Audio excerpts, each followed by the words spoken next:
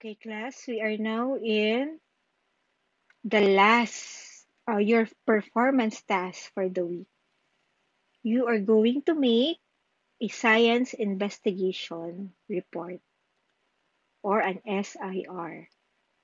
Now, remember last Monday, I told you to fill, you're going to answer some of the things in the science investigation report. So this is just going to be a continuation.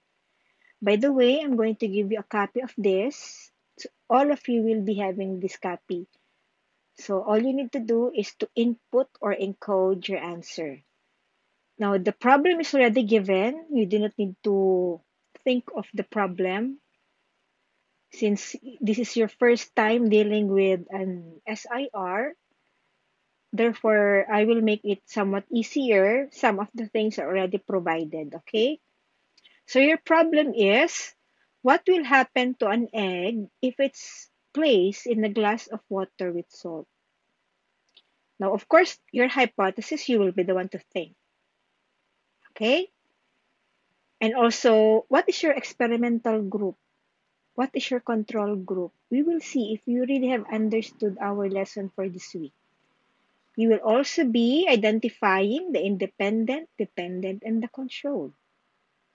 Okay. Now, the materials are already given, as well as the procedure. Okay? Because this is a sort of a guided inquiry. Now, after the procedure, you have followed this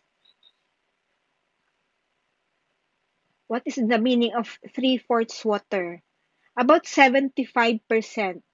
So if you're going to use a glass, about 75% of that should be filled with water. The 25% with no water. Okay? Now, we will now be going on to your data collection. Remember, when you collect data, you can either have qualitative, it means you will be describing what did you observe using your sense of sight. I hope you're not going to use your sense of taste. Okay? Uh, sense of sight na muna tayo. You will be observing. Uh, but it's, it's your choice. But I, I will not be recommending that because you will be drinking salty water and salty water is quite bad if it's really salty. Okay? Now, quantitative and quantitative observations, dalawa dito. Why? Because you're going to measure the amount of salt and the floating level of egg. Madam, di ba we already have the salt here? Yes, indeed. You are correct. Remember, glass A without salt. Glass B, 2 tablespoon. Glass C, 3. Yes. That is the initial setup. Okay?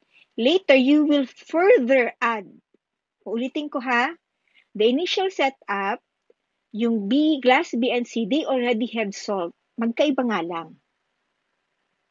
Okay, later, i-explain ko kung ilang amount of salt ang i-add ninyo. Okay? And the floating level of egg. How do we measure the floating level of egg in centimeter? For example, here, I have provided a picture, but later I will be removing it the moment I will be distributing this um, science report. Okay? So you will be using a ruler. Let us have our marker here. So for example, here, you will be measuring. And, okay.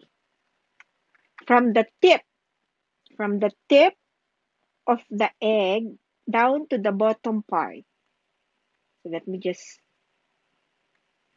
okay, you will be measuring the height of the floating level in centimeter. We have two ends of the centimeter. I we have two ends in the ruler, the inches and the centimeter. Some is some of the rulers are in millimeter, just convert it centimeter. You are going to use the smaller calibration. The one with the larger calibration, that's the inches. Okay? So, how do you again measure the floating level? From the tip down to the bottom, you are going to measure the height in centimeter. And you are going to input that. Okay. So we're done with this. Let's now go to the result. I said, when you're going to have results, you will be having a line graph. So I have provided already uh, a, a graph that you're going to input your result. Okay? By the way, in this uh, quantitative observation, since it's quantitative, you will be having a numerical value here. You can extend the table here, okay? You can extend. Okay, let's now go to the result. You can see here that there is a graph. Okay. Kindly click the open source. Again, click the graph. You can see that there is a chain here. Click that. Open source. It's going to direct you to a Google Sheet. Okay. Oh, as we can see here, this is just a sample ha. Sample lang. Okay, it's working. Still refreshing. Okay.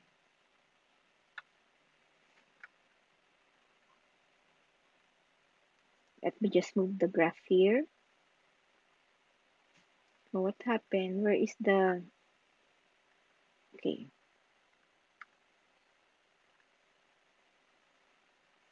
Now, remember, you are still going to add salt in in B and C only ha. Because remember, class A does not have salt in it. Okay? Walang salt.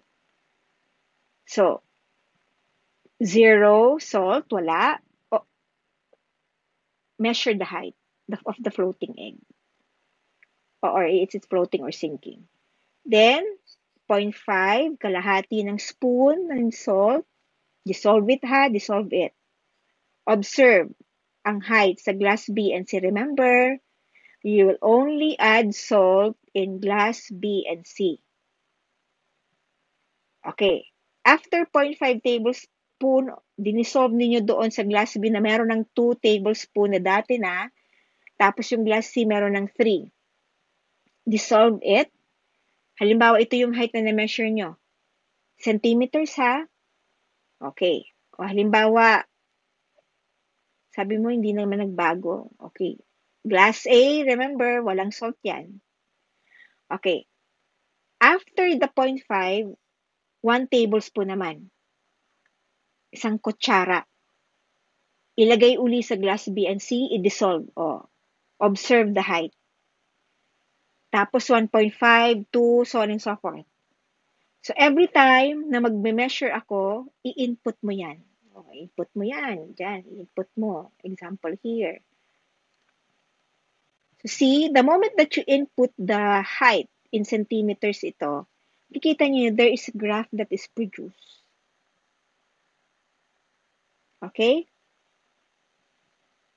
That is what you're going to do. So for example, ito, tapos na dyan na-input na ninyo, go back to the science investigation report, tapos i-update ninyo. Yan. See, that is already your graph. Automatic na yan. Then, finally, ano yung conclusion? Of course, you will be the one to think kung ano yung conclusion. Remember, the conclusion, two to three sentences, answers your problem and is related to your hypothesis. And finally, of course, in every experiment, you need to have some sort of a proof or evidence that you really have conducted it. So, may I ask you to insert pictures of your experiment conducted and please add some captions. Okay? Now, how are you going to be graded? These are the rubrics, components of the report. Is it complete? Nandiyan ba lahat? Have you followed it thoroughly? Five points. Hypothesis. Is your hypothesis clearly stated and identified? Have you used the if and then? What about the variables? Correct mo bang na-identify yung IV, DV, and CV? Or yung control group, experimental groups? Five points yon. What about your data? Tama ba yung data? Sinunod mo ba talaga? And your conclusion? Is it correctly stated? Two to three sentences ba? And finally, 10 points ang documentation and communicating the result. Why? Because I want you to have some sort of a document that you have communicated your result to your parents or siblings. Kasi one way, di ba last step ang communicating in aside from stating the conclusion. So, kailangan po, ipakita nyo sa akin na nag-share kayo ng natutunan ninyo dito sa experiment. Okay? So, the deadline of this will be posted in the Google Classroom. Now, most of you are thinking, what if I will be making a vid or a PowerPoint presentation under documentations. Well, you can do that. I'm letting your creativity uh, use your creativity on how you you are going to present your documentations. Okay, but if you're planning to do that, make sure that you are going to have another attachment in the Google Classroom before you are going to mark it as done. So if you are going to plan a PowerPoint presentation, you are going to add another file. Okay, or if you're going to make a vid, just a very short one, mga one minute lang siguro, just to have a, a way of um, documenting your experiment, sige, attach it. Okay? Either way, it's all in the rubrics. Now, if you have further questions, I think you can ask me in the Google Classroom. This will be, again, your one performance task for this week. Okay, class? Goodbye.